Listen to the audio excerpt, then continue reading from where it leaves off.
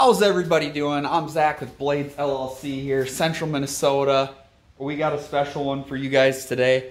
We're going to be putting this dethatcher, which I built for my grandstand, it's going to go on the Z-Master. Not that we won't be dethatching with the grandstand anymore, but I wanted to put the dethatcher in front of this machine because it obviously bags more than the grandstand does. So we're to be uh, mounting a winch on it today. Uh, putting a mount on here, you can see we have a bar going across and I'll explain kind of what we're to do here in just a second. So I hope you guys enjoy this one.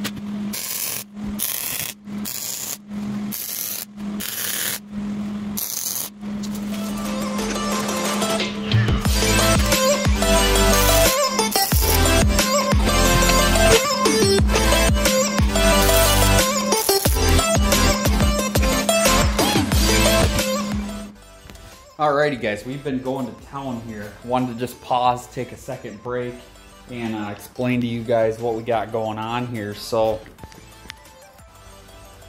it looks like it's gonna work. Kind of an engineering nightmare trying to get this winch on here. So, welded a tab off the back here. We're gonna utilize that bolt hole in there, so that should line up. Got our holes here and here. And then I got two stanchions down with support bar in the middle. Uh, just in case we were to run that into something, uh, it's better than these two things just sticking down on their own. Got some holes drilled in those. And uh, I made a little bit of a mistake. I made this a little bit too narrow uh, to fit. It's going to go inside here.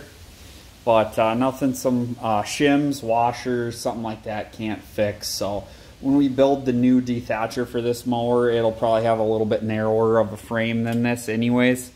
It's kind of what I was shooting for, so. Uh, it'll work for this though.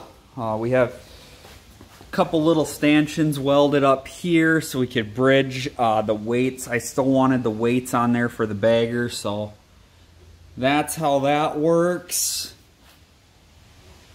yeah, I'm excited to get this thing hooked up here. We're going to put the bolts in here and uh, we'll get it wired up next. Uh, I don't really like having this on here. The remote, we're going to try to mount it somewhere off to the side here, I think. So stay tuned for that. We're going to get this thing ripping today. Like I said, it's it's getting awfully close now. My wife's gonna my wife's gonna run to the hardware store here in just a second, grab some more wiring because you do have to do some work to the winch to make it work on a lawnmower. So uh, I'll show you guys kind of what we do for that, and I hope you guys have enjoyed this. Uh, it's kind of a tough video. I've kind of been just going to town here, but I've been trying to get parts of it. So she's gonna go to the store. There she is right there gonna go to the store and uh, we're gonna be right back with you here so stay tuned. Unfortunately I didn't get the wiring process filmed for this video. I was kind of in a hurry this day but uh, we did get it hooked up real nice and uh, I'll definitely do a video on the wiring process to come. So thank you guys so much for watching. Like comment and subscribe and we will see you on the next one